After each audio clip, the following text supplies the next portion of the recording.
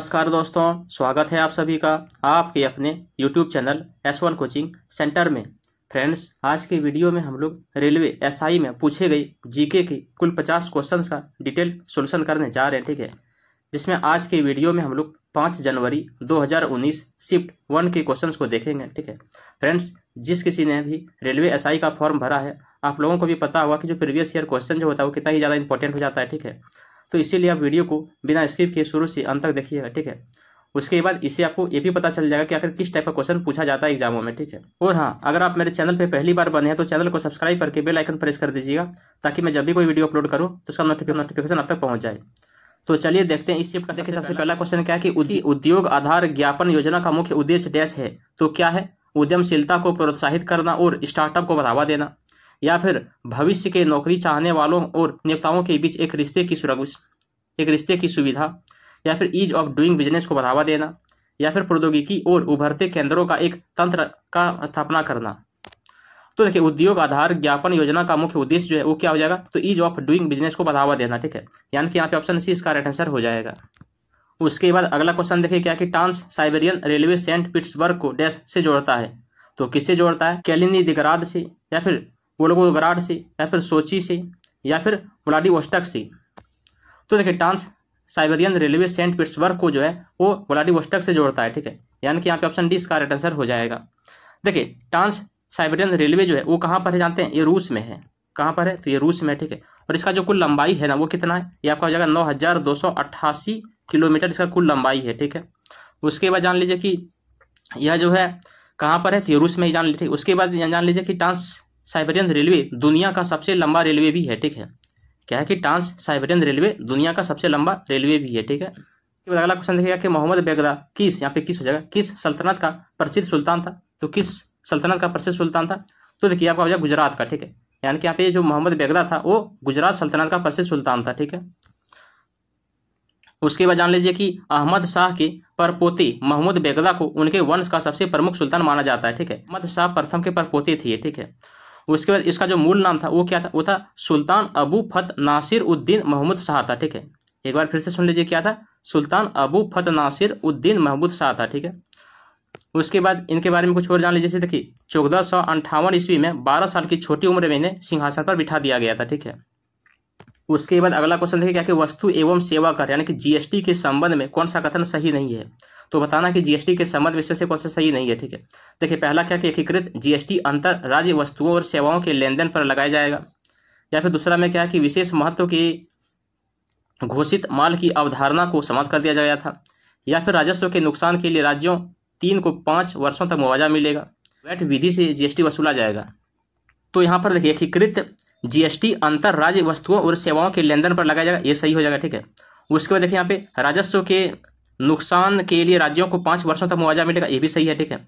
उसके बाद क्या कि वैट विधि से जीएसटी वसूला जाएगा, ये भी सही है, ठीक है? यानी कि यहाँ पे गलत कौन रहेगा? तो विशेष महत्व के घोषित माल की अवधारणा को समाप्त कर दिया गया था, ये गलत हो जाएगा यहाँ पे, ठीक है? जान लीजिए कि आखिर भारत में जीएसटी लागू कब हुआ था? तो कब हुआ था? एक जुलाई 2017 से भारत में लागू हुआ था जीएसटी ठीक है? उसके बाद अगला क्वेश्चन देखिए क्या कि निम्नलिखित में से किस महाद्वीप को द डार्क कॉन्टिनेंट के नाम से भी जाना जाता है? तो किसे जाना जाता है? ऑस्ट्रेलिया को, अफ्रीका को, यूरोप को या फिर एशिया को। तो देखिए, द डार्क कॉन्टिनेंट के नाम से जाना जाता है कौन सा महाद्वीप को? तो अफ्रीका महाद्वीप को, ठीक है? यानी कि यहाँ पे ऑप्शन बी इसका राइट आंसर हो जाएगा। देखिए, सबसे पहली बात जान लीजिए, कितने कुल महाद्वीप है? तो सात महाद्वीप है, ठीक है? कौन कौन सा? तो एशिया हो गया, उसके बाद अफ्रीका हो गया, उसके बाद कौन हो गया? नॉर्थ अमेरिका, साउथ अमेरिका, ठीक है? उसके बाद कौन? उसके बाद अंटार्कटिका हो जाएगा, फिर ऑस्ट्रेलिया हो जाएगा, यूरोप हो जाएगा, ठीक है? तो इस तरह से कुल सात महाद्वीप है, ठीक है? जिसमें से सबसे बड़ा महाद्वीप कौन सा हो जाएगा? तो एशिया हो जाएगा, ठीक है? और सबसे छोटा महाद्वीप कौन सा हो जाएगा? तो ऑस्ट्रेलिया हो जाएगा। उसके उसके बाद जान लीजिए कि अफ्रीका महाद्वीप जो है, वो दूसरा सबसे बड़ा महाद्वीप होता है, ठीक है? उसके बाद अफ्रीका महाद्वीप को काला महाद्वीप भी कहा जाता है, ठीक है? उसके बाद अफ्रीका महाद्वीप में कुल कितने देश हैं? तो चौवन देश हैं कुल, ठीक है? उसके बाद जान लीजिए कि सबसे बड़ा जो रेगिस्तान है, सहारा रेगिस्तान तो अफ्रीका महाद्वीप में ही स्थित है। उसके बाद जान लीजिए कि नील हो गया, कांगो, नाइजर, इस महाद्वीप की प्रमुख नदियाँ हैं, ठीक है? उसके बाद जान लीजिए कि सवाना घास के जो मैदान है, इसी महाद्वीप में पाया जाता है। उसका जैसे नामीब रेगिस्तान, कालाहारी रेगिस्तान और चेक रेगिस्तान, यानी सभी रेगिस्तान जो है वो अफ्रीका महाद्वीप में ही स्थित है, ठीक है? तो ये सब कुछ अफ्रीका महाद्वीप के बारे में जान लीजिए। उसके बाद अगला क्वेश्चन देखिए क्या कि घाटी के भूतल और पहाड़ियों के आधार पर जमा होने वाला खनिज कौन सा है? तो कौन सा हो जाएगा? लोड निक्षेप या फिर प्लेसर निक्षेप या फिर वैन निक्षेप या फिर स्तरित निक्षेप। तो देखिए, घाटी के भूतल और पहाड़ियों के आधार पर जमा होने वाला जो खनिज है वो हो जाएगा कौन सा? तो प्लेसर निक्षेप हो जाएगा, ठीक है? यानी कि यहाँ पे ऑप्शन बी इसका राइट आंसर हो जाएगा। उसके बाद अगला क्वेश्चन क्या कि ग्रीनलैंड निम्नलिखित में से किस महाद्वीप के अंतर्गत आता है?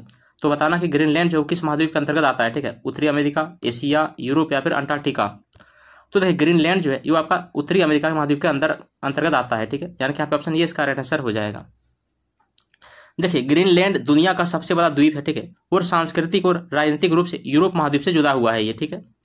उसके बाद जान लीजिए कि चूँकि द्वीप जो है, वो उत्तरी अमेरिका महाद्वीप सेल्फ का होता है, ठीक है? इसीलिए भौगोलिक रूप से यह जो है उत्तरी अमेरिका के अंतर्गत आ जाता है। उसके बाद जान लीजिए कि जो ग्रीनलैंड का लगभग जो है, वो कितना है? सेवेंटी नाइन परसेंट जो क्षेत्र है, वो बर्फ़ के चादर से ढका हुआ है, ठीक है? अगला क्वेश्चन देखिए क्या कि खड्डू, ठीक है, जिसको बिहद भी बोलते हैं। आमतौर पर भारत के किस नदी घाटी में पाए जाते हैं? तो किस नदी घाटी में पाए जाते हैं? पेरियार नदी घाटी में, चंबल नदी घाटी में, कावेरी नदी घाटी में या फिर वेगई नदी घाटी में। तो देखिए ये जो खड्डू या फिर बिहर जिसको बोलते हैं, वो आमतौर पर भारत के चंबल नदी घाटी में पाए जाते हैं, ठीक है? यानी कि यहाँ पे ऑप्शन बीस का राइट आंसर हो जाएगा, ठीक है? चलिए चंबल नदी के बारे में कुछ जान लेते हैं। देखिए, यह जो एक बारह मसी नदी होता है, ठीक है, जो कि बारह महीने बहने वाली नदी होता है, जो कि विंध्या श्रेणी के दक्षिण ढलानों के जनापाव से निकलती है, ठीक है? कहाँ से निकलती है? तो जाना पाव से निकलती है, ठीक है? उसके जान लीजिए कि यह यमुना नदी के एक दाहिनी किनारे की सहायक नदी होता है, ठीक है? यह जो चंबल नदी है, वो किस नदी का सहायक नदी है? तो यमुना नदी का सहायक नदी है, ठीक है? जो उसके दाहिनी ओर से सहायता करता है, ठीक है? उसके जान लीजिए कि जैसे पार्वती हो गया काली सिंध हो गया सिपरा हो गया, बनास हो गया, ये सब प्रमुख सहायक नदी होता है चंबल नदी का, ठीक है? उसके बाद आप जान लीजिए कि पेरियार नदी जो, देखिए पेरियार नदी जो सबसे लंबी नदी है, ठीक है? किस राज्य का है? तो केरल राज्य का है ये, ठीक है? पेरियार नदी किस राज्य का है? तो केरल राज्य का है। ये भी जो है बारामासी नदी कहलाता है, ठीक है? उसके बाद जान लीजिए कि जो पेरियार नदी है, वो भारत की पश्चिम दिशा में बहने वाली नदी है, ठीक है? उसके बाद यह जान लीजिए कि यह पेरियार नदी निकलती कहाँ से तो यह शिवगिरी से निकलती है, ठीक? और अरब सागर में जाकर के मिल जाती है, ठीक है? क्योंकि देखिए, यहाँ पे ये है क्या? इंडिया का यहाँ पे मैप है। तो इस साइड में कौन है? अरब सागर में। तो यहाँ पे आकर गिर जाती है, ठीक है? कौन? पेरियार नदी। उसके बाद जान लीजिए कि ये जो कावेरी नदी है, कावेरी नदी के बारे में देखिए, जान लीजिए। तो कावेरी नदी जो है क्या है? या दक्षिण भारत के बारामसी ये भी है, ठीक है? बारामसी नदी ये भी है। उसके बाद ये कहाँ से निकलती है? तो ताल कावेरी से निकलती है, ठीक है? उसके जान लीजिए किस राज्य में बहती है। तो ये कर्नाटक और तमिलनाडु राज्यों से बहती हुई वो कहाँ पे जाके मिलती है? तो बंगाल की खाड़ी में मिलती है, ठीक है? जो कि देखिए, ये इंडिया का मैप है। तो बंगाल की खाड़ी किधर? इस साइड में है, ठीक है? तो इधर आके मिल जाती है, ठीक है? कौन? कावेरी नदी। उसके जान लीजिए कि वेगई नदी, ठीक है? तो वेगई नदी कहाँ का है? तो वेगई नदी जो है, पेरियार पठान के बरसानाडु पहाड़ियों से निकलती है और पाक जल डमरू मध्य में जाके गिर जाती है, ठीक है? और ये वेगई नदी भी कहाँ का है? तो ये केरल का है, ठीक है? उसके अगला क्वेश्चन देखिए, क्या कि निम्न में से कौन दुनिया में सबसे अधिक बारिश वाला स्थान है? तो कौन सबसे ज़्यादा बारिश वाला स्थान हो जाएगा? द्वास घाटी थेकरी या फिर अन्नामुडी या फिर मासिन राम। बारिश वाला स्थान कौन सा हो जाएगा तो मासिन राम हो जाएगा, ठीक है? यानी कि आपका ऑप्शन डी इसका राइट आंसर हो जाएगा। देखिए मासिन राम में एक औसतन वर्ष जो है लगभग कितना होता है तो दस हज़ार मिली बारिश होती है, ठीक है? उसको जान लीजिए कि मासिन राम कहाँ पर है तो किस राज्य में? तो ये आपका मेघालय में है, ठीक है? किस राज्य में तो मेघालय राज्य में है मासिन राम, ठीक है? उसको जान लीजिए कि मासिन राम मेघालय में पूर्वी खासी हिल्स ज़िले में स्थित है, ठीक है? उसको जान लीजिए कि इसे दुनिया का सबसे बारिश वाला स्थान भी कहा जाता है, ठीक है? उसका जान लीजिए कि अन्ना मोडी ठीक है? ये अन्ना मोडी कहाँ का है? तो आपका ये केरल राज्य का है, ठीक है? उसके दक्षिण भारत और पश्चिमी घाटी में सबसे ऊँची चोटी होता है अन्ना मोडी ठीक है? कितना चोटी इसका, कितना ऊँचा चोटी है? तो देखिए यहाँ पे छब्बीस, उसके बाद यहाँ पे कितना? पंचानवे होता है, यानी कि दो हज़ार छः सौ पंचानवे जो है ये मीटर ऊँचा है, ठीक है अन्ना मोडी का। उसके बाद जान लीजिए कि जो थेकडी है थेकडी है, ये क्या है? तो यह केरल राज्य के इडुकी ज़िले में पेरियार बाग अभ्यारण्य के पास स्थित है, ये थेकडी, ठीक है? उसका देखिए द्रास घाटी जो है, ये द्रास घाटी कहाँ पर है? ये जो लद्दाख के कारगिल ज़िले में स्थित है, ठीक है? इसे अक्सर लद्दाख का प्रवेश द्वार भी कहा जाता है। अगर पूछा जाए कि लद्दाख का प्रवेश द्वार किसे कहा जाता है तो किसे कहा जाता है? द्रास घाटी को कहा जाता है, ठीक है? उसके बाद अगला क्वेश्चन देखिए, क्या कि आधुनिक ओलंपिक खेल की अधिकतम अवधि कितना होता है? तो बताना कि आधुनिक ओलंपिक खेल की अधिकतम अवधि कितना होता है? सोलह दिन तक होता है, तीस दिन तक होता है, पैंतालीस दिन तक होता है या फिर इक्कीस दिन तक होता है? तो देखिए, आधुनिक ओलंपिक खेल की अधिकतम अवधि जो है वो कितना होता है? तो सोलह दिन तक होता है, ठीक है? यानी कि यहाँ पे ऑप्शन ये इसका राइट आंसर हो जाएगा, ठीक है? देखिए मॉडर्न ओलंपिक गेम्स की अगर बात किया जाए ना तो ये सबसे पहले अठारह सौ छियानवे ईस्वी में क्या हुआ था? ये पहली बार आयोजित किया गया था, ठीक है? उसके बाद जान लीजिए कि जो ये ओलंपिक खेल है ना, ये हर चार साल के बाद होता है, ठीक है? बाकी देखिए तीन साल छोड़ के, एक बार 1916 को, एक बार फिर 1940 ईस्वी को, और फिर एक बार 1944 ईस्वी को, ठीक है? ये तीनों को छोड़ के, बाकी हर चार साल के बाद ये आयोजित हो रहा है, ठीक है? उसके बाद जान लीजिए कि जो ओलंपिक ध्वज में ये कितने रिंग होते हैं तो पाँच रिंग होते हैं, ठीक है? अगला क्वेश्चन देखिए क्या कि किस आयोग ने केंद्र और राज्य संबंध की जाँच की थी? तो किस आयोग ने केंद्र और राज्य संबंध की जाँच की थी? वीरप्पा मोइली ने, या फिर एम एम पंची, या फिर पी वी राजमंदार या फिर आर एस सरकरिया आयोग ने। तो देखिए, केंद्र राज्य संबंध की जाँच की थी किस आयोग ने? तो आर एस सरकरिया आयोग ने किया था, ठीक है? देखिए सरकरिया आयोग को उन्नीस में भारत सरकार के द्वारा नियुक्त किया गया था, ठीक है? सरकरिया आयोग को भारत में नियुक्त किया गया था कब? तो उन्नीस ईस्वी में किया गया था भारत सरकार के द्वारा, ठीक है? उसके बाद अगला क्वेश्चन देखिएगा कि रिले शब्द किससे संबंधित हो जाएगा? तो बताना कि रिले जो शब्द है, वो किससे संबंधित है? थ्रोविंग से दौड़ से, फेसिंग से या फिर भारोत्तोलन से? तो देखिए रिले शब्द जो है, वो संबंधित है किससे? तो दौड़ से हो जाएगा, ठीक है? यानी कि रनिंग से संबंधित है रिले शब्द। देखिए रिले शब्द का जो शाब्दिक अर्थ होता है, वो क्या होता है? वो होता है कि गतिविधि में लगे हुए लोगों का समूह, ठीक है? उसके बाद और क्या होता है इसमें? तो संबंधित खेल आयोजन जिसे रिले दौड़ कहा जाता है, जैसे मानते हैं कोई ग्रुप में कोई आदमी जब दौड़ने लगता है तो उस ग्रुप को ही कहा जाता है? रिले कहा जाता है, ठीक है? उसके जान लीजिए कि इसमें टीमों में ज़्यादातर जो चार सदस्य होते हैं, ठीक है? और यह चार चरण ट्रैक वाले फ़ील्ड में इवेंट करता है ये, ठीक है? उसके जान लीजिए कि ओलंपिक में चार सौ मीटर और सोलह सौ मीटर रिले आयोजित किए जाते हैं, ठीक है? उसके जान लीजिए कि रिले की जो अवधारणा का उपयोग जो है वो तैराकी टूर्नामेंट में भी किया जा सकता है, ठीक है? उसके बाद अगला क्वेश्चन क्या है कि भारतीय संविधान में कितनी भाषाएँ हैं? तो बताना है कि भारतीय संविधान में कितनी भाषाएँ हैं? इक्कीस, चौबीस, छब्बीस या फिर बाईस? तो देखिए, भारतीय संविधान में कितनी भाषाएँ हैं तो बाईस भाषाएँ हैं, ठीक है? यानी कि यहाँ पे ऑप्शन डी इसका राइट आंसर हो जाएगा। देखिए, भारतीय संविधान में अनुसूची आठ, शेड्यूल कितना था? ये अनुसूची आठ में था, ठीक है? ये बाईस भाषाओं को मान्यता मिला है। उसके बाद जान लीजिए कि जो प्रारंभ में हमारे संविधान में आठवीं अनुसूची में कितनी भाषाएँ को मान्यता मिला था? तो चौदह भाषाओं को मान्यता मिला था, ठीक है। उसके बाद क्या हुआ कि इक्कीसवें संविधान संशोधन अधिनियम, यानी कि क्या था? सी, ए ये ठीक है। इसके द्वारा क्या हुआ तो उन्नीस सौ सड़सठ ईस्वी में एक भाषा, जिसमें से सिंधी, इकहत्तरवीं सी, ए उन्नीस में वो तीन कोंकणी, मणिपुरी और नेपाली को जोड़ दिया गया, ठीक है।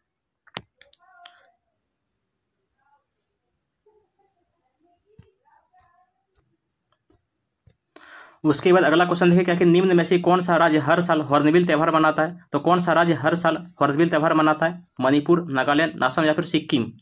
तो देखिए, हॉर्नबिल त्यौहार जो है हर साल नागालैंड मनाता है, ठीक है? यानी कि यहाँ पे ऑप्शन बीस का राइट आंसर हो जाएगा, ठीक है? देखिए, नागालैंड का राजधानी कहाँ है? तो कोहिमा है, ठीक है? उसको जान लीजिए कि जो हॉर्नबिल त्यौहार है, ये कब शुरू हुआ था नागालैंड में? तो 2000 ईस्वी में शुरू हुआ था, ठीक है? किस लिए शुरू हुआ था? तो नागालैंड राज्य ने पर्यटन को बढ़ावा देने के उद्देश्य से इस फेस्टिवल को शुरुआत किया था, ठीक है? कब क्या था? तो एक बार फिर से देख लीजिए 2000 ईस्वी को शुरू किया था नागालैंड सरकार ने, ठीक है? चलिए, उसके बाद अगला क्वेश्चन देखते हैं क्या? क्या कि अर्ध न्यायिक निकाय के रूप में वित्त आयोग की स्थापना का प्रावधान अनुच्छेद डैश में शामिल था। तो किसमें शामिल है? अनुच्छेद तीन में, अनुच्छेद दो सौ अस्सी में, अनुच्छेद एक सौ एक में या फिर अनुच्छेद दो में? तो देखिए, अर्ध न्यायिक निकाय के रूप में वित्त आयोग की जो स्थापना का प्रावधान है, वो अनुच्छेद 280 में किया गया है, ठीक है?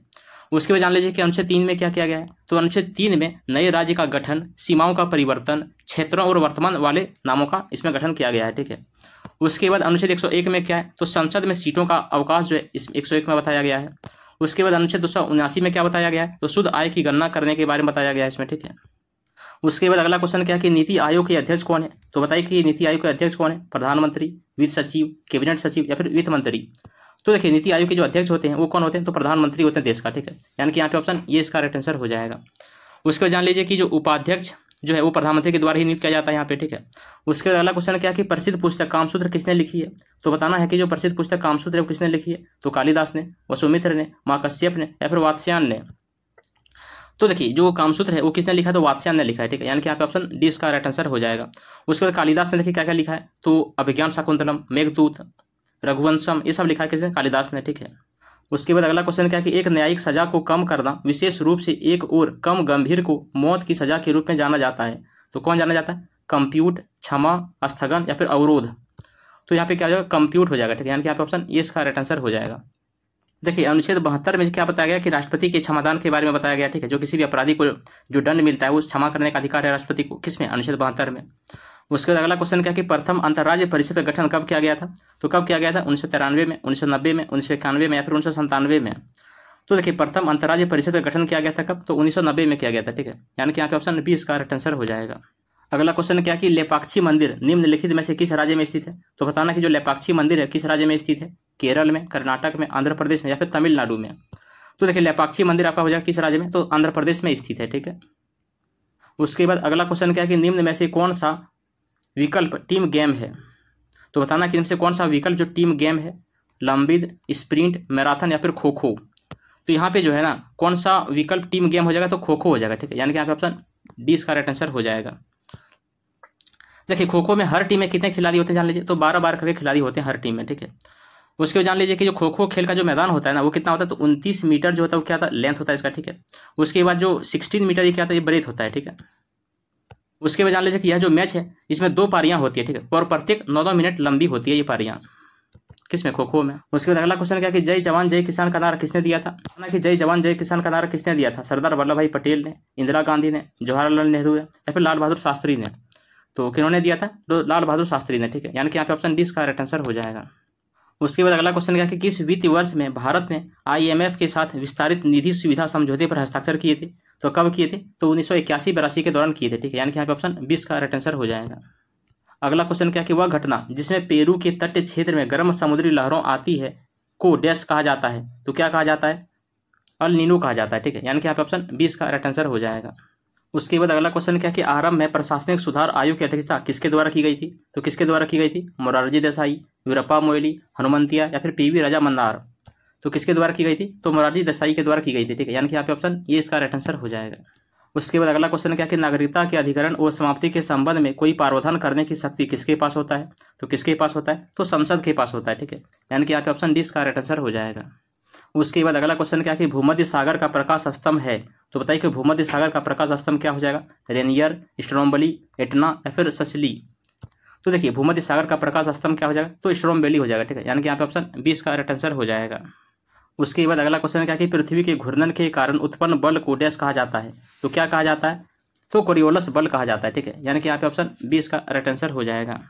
उसके बाद अगला क्वेश्चन क्या कि प्रसिद्ध खिलाड़ी खसाबा जाधव किस खेल से संबंधित हो जाएगा? तो बताइए कि जो प्रसिद्ध खेल खसाबा जाधव है वो किस खेल से खेल से संबंधित है? निशानेबाजी से कुश्ती से हॉकी से या फिर भारोत्तोलन से? तो देखिए, खसाबा जाधव जो है, ये संबंधित है किससे कुश्ती से, ठीक है? यानी कि यहाँ पे ऑप्शन बीस का राइट आंसर हो जाएगा। उसके बाद अगला क्वेश्चन क्या कि टेबल टेनिस से संबंधित अंतर्राष्ट्रीय शासी निकाय कौन सा है? तो कौन सा हो जाएगा? तो देखिए आई टी टी एफ़ हो जाएगा, ठीक है? तो देखिए आई टी टी एफ़ का मतलब क्या होता है? तो अंतर्राष्ट्रीय टेबल टेनिस महासंघ होता है, ठीक है? क्या होता है? आई टी टी एफ़ का मतलब क्या होता है? इंटरनेशनल टेबल टेनिस फेडरेशन होता है, ठीक है? उसके बाद जान लीजिए कि जो आई टी टी एफ़ के अंतर्गत कितने सदस्य हैं तो अभी कितने सदस्य हैं इसके अंदर तो 226 सदस्य हैं, ठीक है? किसमें आई टी टी एफ़ में। उसके इसकी स्थापना कब हुआ था? इसकी स्थापना उन्नीस सौ छब्बीस ईस्वी को हुआ था, ठीक है? इसका मुख्यालय कहाँ पर हो जाएगा? तो स्विट्जरलैंड के लोजाने में हो जाएगा, ठीक है? उसके बाद अगला क्वेश्चन क्या कि राष्ट्रीय विकास परिषद का अध्यक्ष कौन है? तो बताइए कि राष्ट्रीय विकास परिषद के अध्यक्ष कौन होते हैं? प्रधानमंत्री, राष्ट्रपति, वित्त मंत्री या फिर केंद्रीय गृह मंत्री? तो देखिए, राष्ट्रीय विकास परिषद के अध्यक्ष जो है वो कौन हो जाएँगे? तो प्रधानमंत्री होते हैं, ठीक है? यानी कि यहाँ पे ऑप्शन ये इसका राइट आंसर हो जाएगा। उसके बाद अगला क्वेश्चन क्या कि हड़प्पा सभ्यता के शहरों को डैश स्वरूप में रखा गया था। तो बताइए कि हड़प्पा सभ्यता के शहरों को डैश स्वरूप में रखा गया था। किसमें रखा गया था? वृत्ताकार ग्रिड में, आयताकार ग्रिड में, वर्ग ग्रिड में या फिर रेडियल ग्रिड में? तो देखिए, हड़प्पा सभ्यता के शहरों को रखा गया था किस स्वरूप में? तो आयताकार ग्रिड में, ठीक है? यानी कि यहाँ पे ऑप्शन बीस का राइट आंसर हो जाएगा। उसके बाद जान लीजिए कि हड़प्पा को अन्नदाताओं के शहर के रूप में भी जाना जाता है, ठीक है? उसके बाद अगला क्वेश्चन क्या कि हिंडोला महल और जहाज़ हवेली किस क्षेत्रीय वास्तुकला शैली से संबंधित हो जाएगा? तो किससे हो जाएगा? तो मांडू क्षेत्र से संबंधित हो जाएगा, ठीक है? यानी कि यहाँ पे ऑप्शन ये इसका राइट आंसर हो जाएगा। उसके बाद अगला क्वेश्चन क्या कि प्राचीन हड़प्पा शहर लोथल किस राज्य में स्थित है? तो किस राज्य में स्थित है? तो गुजरात राज्य में स्थित है, ठीक है? उसके जान लीजिए कि राजस्थान में क्या क्या स्थित है? तो राजस्थान में कालीबंगा और बरूड स्थित है, ठीक है? उसके गुजरात में क्या? तो गुजरात में धोलावीरा जो है, गुजरात में ही है, ठीक है? उसके देखिए सूरकोटदा वगैरह जो है कहाँ पर है तो गुजरात में है। उसके पंजाब में क्या है तो रोपर हो गया तो जो कि रोपर कहाँ है तो पंजाब में है। उसके बाद जान लीजिए कि जो सनोली, मंडी, आलमगीरपुर, ये सब कहाँ है तो ये सब उत्तर प्रदेश में है, ठीक है। उसके बाद अगला क्वेश्चन क्या है कि महायान शब्द किस धर्म से संबंधित है? तो बताइए बताइए कि जो महायान शब्द है, वो किस धर्म से संबंधित हो जाएगा? जैन धर्म से, बौद्ध धर्म से, शैव धर्म से या फिर सिख धर्म से? तो देखिए, महायान शब्द जो है, वो आपका बुद्ध धर्म से संबंधित हो जाएगा, ठीक है। उसके बाद अगला क्वेश्चन क्या कि किस अनुच्छेद के तहत संसद, राज्य या केंद्र शासित प्रदेश के भीतर रोज़गार के लिए एक शर्त निर्धारित कर सकता है? तो किसके अंतर्गत कर सकता है? तो देखिए, अनुच्छेद 16 के अंतर्गत कर सकता है, ठीक है? उसके बाद जान लीजिए कि अनुच्छेद 26 में क्या है? तो अनुच्छेद 26 में धार्मिक मामलों का प्रबंधन करने की स्वतंत्रता दी गई है, ठीक है? उसके बाद अनुच्छेद 15 में क्या बताया गया है? तो भेदभाव का निषेध बताया गया है। उसके बाद अनुच्छेद 19 में क्या बताया गया है? तो अनुच्छेद 19 में जो है ना, छह अधिकारों को दिया गया, ठीक है? कौन कौन सा तो बोलने और अभिव्यक्ति की स्वतंत्रता का अधिकार मिला है? उसके बाद शांति रहने का अधिकार मिला है। उसका संघ या सहकारी समिति के गठन करने का अधिकार मिला है। फिर पूरे भारत में स्वतंत्र रूप से घूमने या फिर स्थानांतरित करने का अधिकार मिला है। उसके बाद जो है, भारत के किसी भी हिस्से में निवास करने का भी अधिकार मिला है। किससे ये सभी उन्नीस आर्टिकल के अंतर्गत आता है, ठीक है? उसके बाद अगला क्वेश्चन क्या है, राष्ट्रपति का अध्यादेश डैश जारी किया जा सकता है। तो बताइए कि राष्ट्रपति का जो अध्यादेश है, वो कब जारी किया जा सकता है? तो के समान सीमा वाले प्रावधानों पर संसदीय अधिनियम के रूप में जारी किया जा सकता है, ठीक है? यानी कि यहाँ पे ऑप्शन ये, इसका राइट आंसर हो जाएगा। और ये किस आर्टिकल के तहत किया जा सकता है? तो अनुच्छेद एक सौ तेईस के तहत किया जा सकता है, ठीक है? उसके बाद अगला क्वेश्चन क्या कि भारत में चिश्ती संप्रदाय की स्थापना किसने की थी? तो बताइए कि जो भारत में चिश्ती संप्रदाय की स्थापना है, वो किसने की थी? तो देखिए, किसने की थी? मोहुद्दीन चिश्ती ने की थी, ठीक है? यानी कि यहाँ पे ऑप्शन ये, इसका राइट आंसर हो जाएगा। उसके बाद अगला क्वेश्चन क्या कि इनमें से कौन भारत का एक प्रमुख चाय उत्पादक क्षेत्र नहीं है? तो बताना कि इनमें से कौन सा है जो भारत का एक प्रमुख चाय उत्पादक क्षेत्र नहीं है, ठीक है? तो देखिए, असम हिल्स, उसका दार्जिलिंग हिल्स, कश्मीर घाटी या फिर नीलगिरी की पहाड़ियाँ।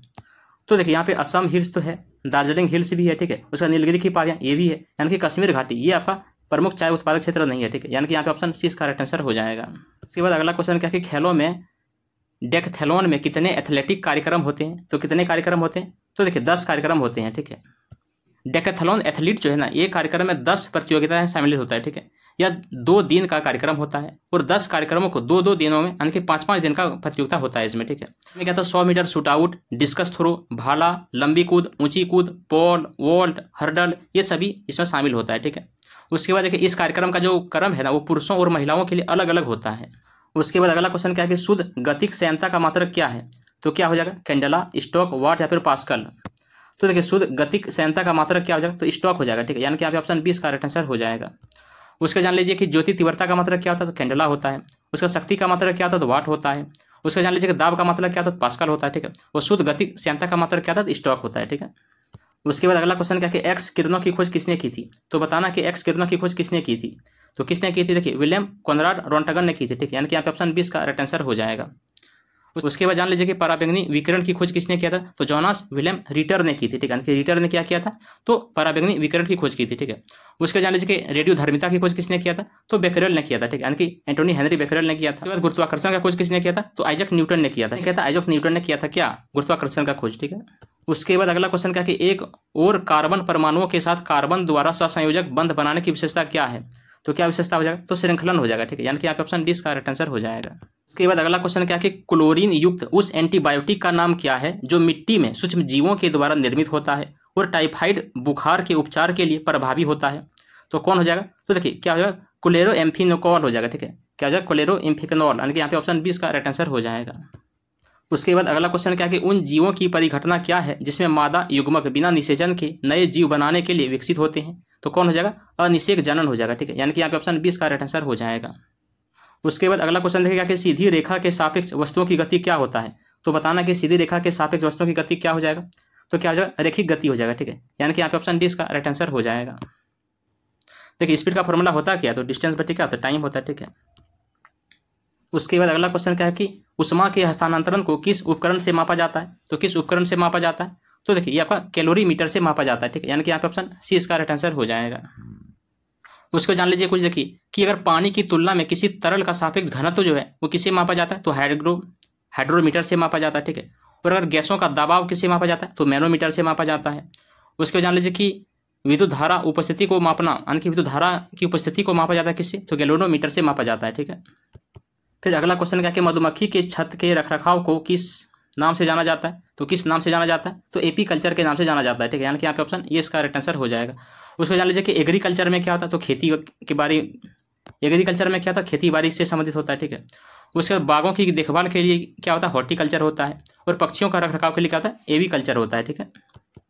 उसके बाद अगला क्वेश्चन क्या है कि देखिए पेरीप्लेनेटा अमेरिकाना का सामान्य नाम क्या है? तो क्या हो जाएगा अमेरिकन कॉकरोच हो जाएगा, ठीक है? यानी कि यहाँ पे ऑप्शन बीस का राइट आंसर हो जाएगा।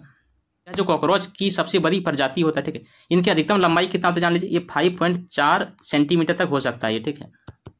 उसके बाद चलिए इस शिफ्ट का आखिरी क्वेश्चन क्वेश्चन नंबर पचास देख लेते हैं क्या। क्या कि टैक्सोल किस पौधे से प्राप्त किया जाता है? तो बताना कि जो टैक्सोल होता है, वो किस पौधे से प्राप्त किया जाता है? तो देखिए, यह वो पौधे से प्राप्त किया जाता है, ठीक है कि यहाँ पे ऑप्शन बीस का राइट आंसर हो जाएगा। यह जो पौधा होता है ना, यह सदाबहार लकड़ी का एक पेड़ होता है, ठीक है, जो कि अलास्का से लेकर के कैलिफ़ोर्निया तक पाया जाता है ये। तो बस इतना ही था। फ्रेंड्स, कैसे लगा ये वीडियो? कमेंट में ज़रूर बताइएगा। चलिए मिलते हैं अगली वीडियो में, एक अगले शिफ्ट को लेकर के। तब तक के लिए धन्यवाद। जय हिंद।